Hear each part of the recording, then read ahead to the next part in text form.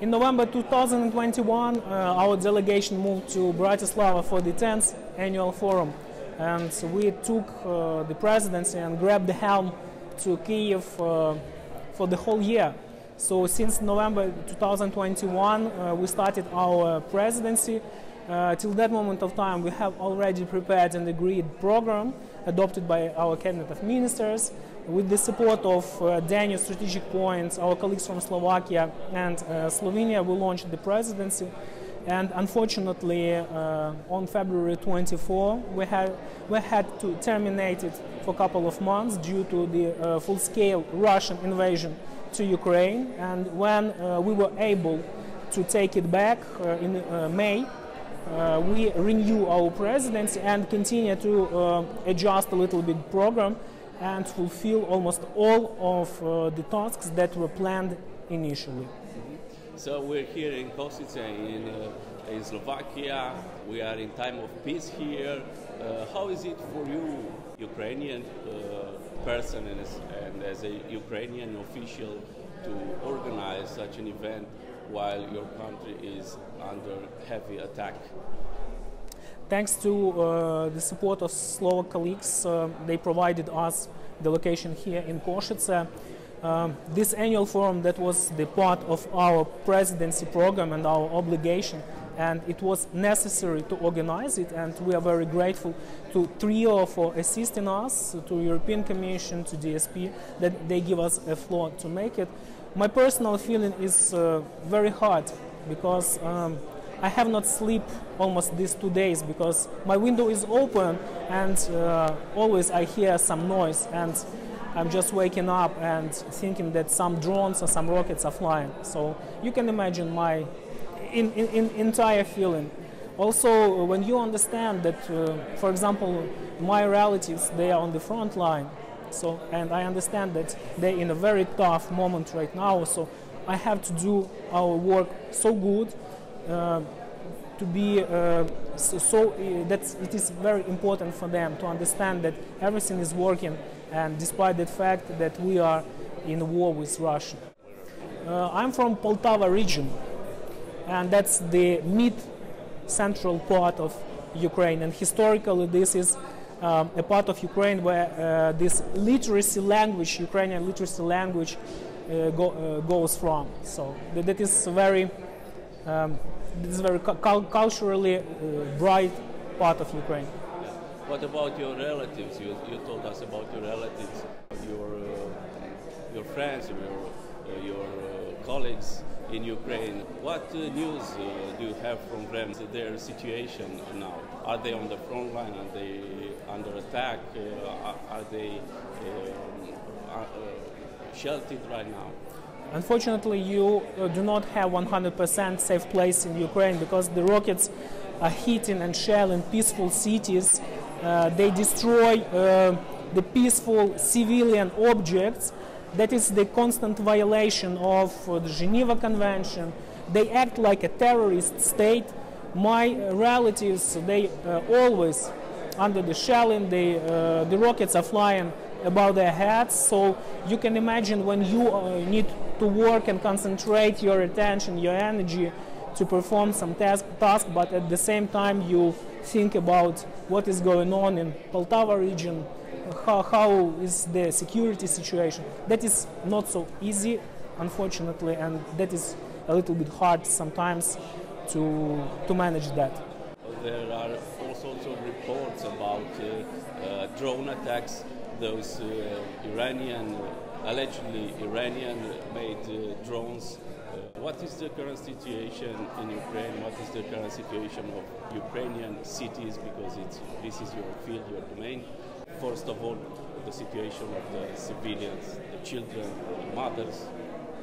I just can repeat that first. Russia is a terrorist state because they uh, combat against civilians. Secondly, they uh, just uh, demolish all the provisions of Geneva Convention. Secondly, they uh, hit these district heating plants that produce electricity, heat, They hit the drinking water plants that supply population of the peaceful Ukrainian cities with the basic needs.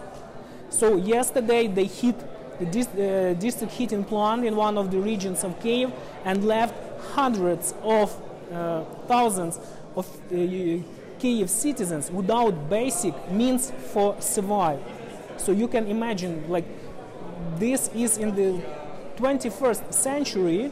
You have a big terrorist state that somehow decided to capture its neighbor. That is unpredict- un- unpredictable. They are not unpredictable. So uh, we expect that our partners they will help us to somehow close the sky again uh, above the peaceful cities, and that would also be a part of the whole strategy for the protecting of population against this challenge. Yes. Uh, In Europe, there are also voices who urge President Zelensky and the Ukrainian uh, authorities to, to try to negotiate with uh, Putin and the Russian Federation.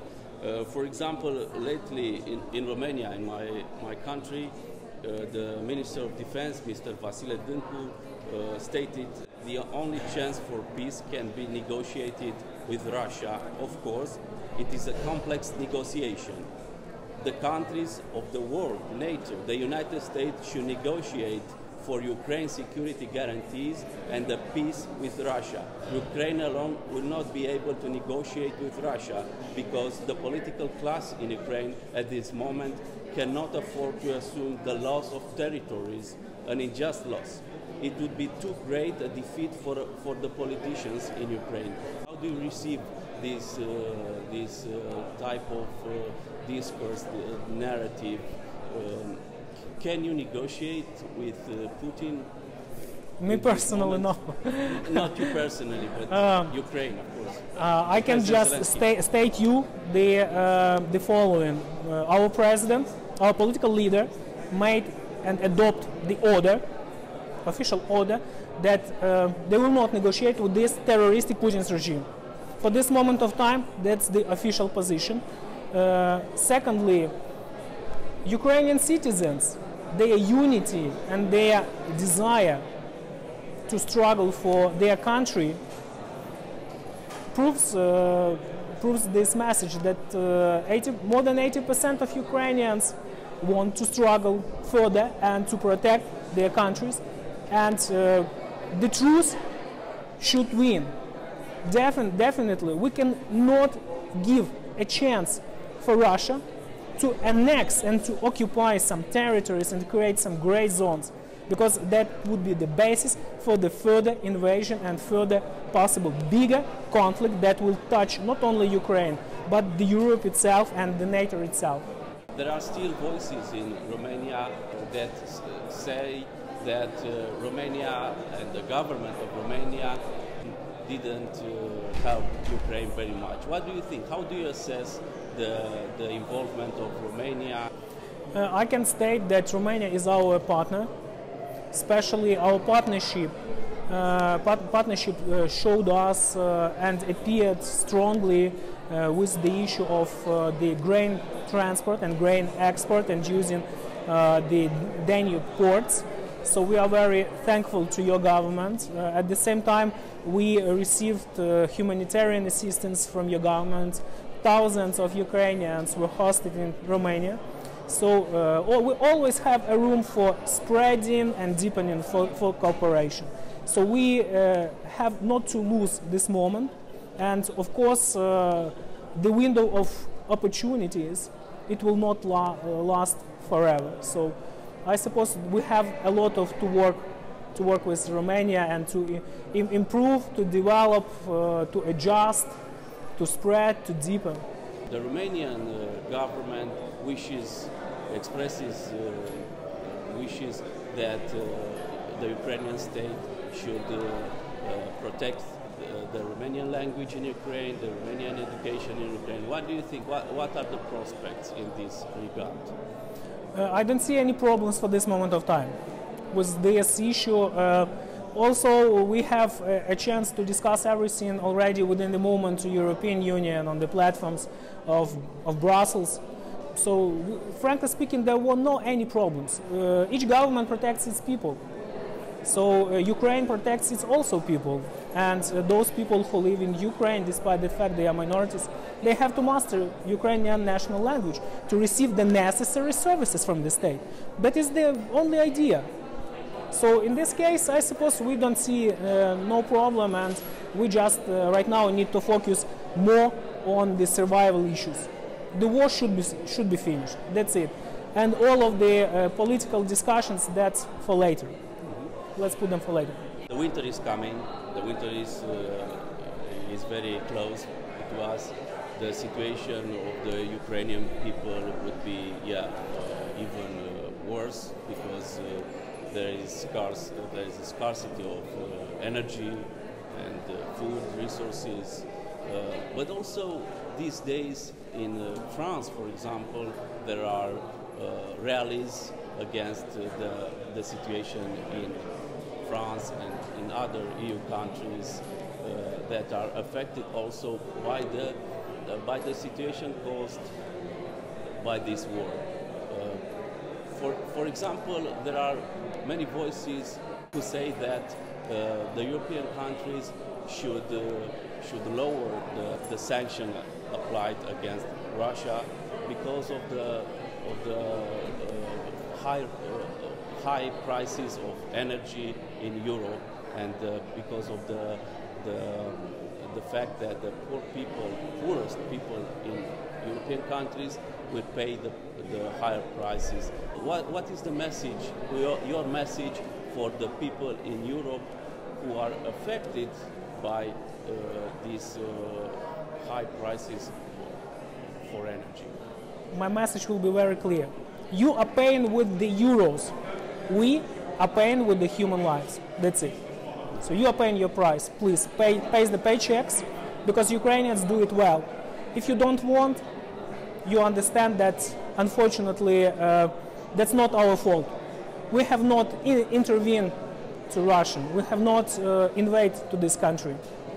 So that's that's the price that Europeans unfortunately have to pay for their security and for those that Ukrainians protect almost all Europe from the Rush, possible Russian invasion. Uh, when do you foresee the end of, of this war? You personally, what uh, are your expectations, your hopes? I suppose when we will start um, renew direct flight Kiev Bucharest, that would be the end of the war. Yeah. Uh, what about the uh, Ukraine's, Ukraine prospects of uh, EU integration? Uh, you applied for uh, EU membership. When, when could you foresee the actual accession of Ukraine in uh, the EU?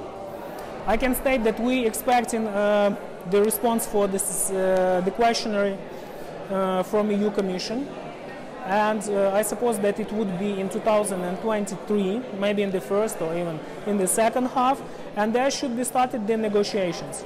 So we don't see any uh, obstacles, any problems with that, because uh, Ukrainian governance machinery was able to fulfill the necessary questionnaire, this uh, two, two, two parts of questionnaire for just a month. So come on, there is uh, no issue. The, the ball is already on the part of the European Commission, and we expect that uh, the negotiations should be started as soon as possible. We need to have the clear roadmap. What about NATO accession? Do you, uh, how do you see the relation, your relationship with, with NATO, and how do you see your, your uh, uh, future road? I can state the words of our Minister of Defense. We're already a part of NATO. The President also said that we are already de facto uh, a part of NATO. So we just need to pass the formal steps. And of course, U- Ukraine will enforce NATO. Def- definitely, with uh, its military forces, with its organizational and mutual energy of the Ukrainian people. So NATO will be stronger, uh, and between NATO and Russia, there should be no any gray zones. That is that definitely uh, that is definitely would be a problem. But what about the Russian Federation? How would you see, and this is the last one, how would you see uh, the future relationship with your bigger neighbor, Russian Federation after the war? It's too early to talk about that. First, we need to win the war to get our people and our territories back, and that we will start to discuss with them.